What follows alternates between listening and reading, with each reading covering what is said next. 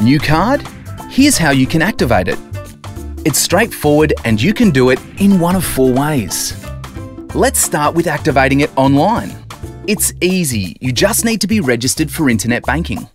So log into your internet banking, click on this maintenance tab and select your account. Then enter your card number and expiry date. Click enter and it's done. Or open your mobile app, log in and click on the services button.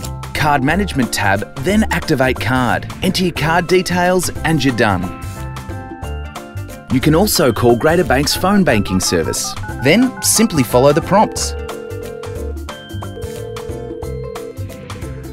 Lastly, you can pop into your local branch with your card and our staff will activate it then and there.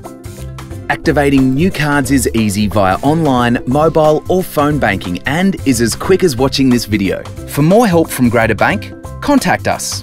Here's how.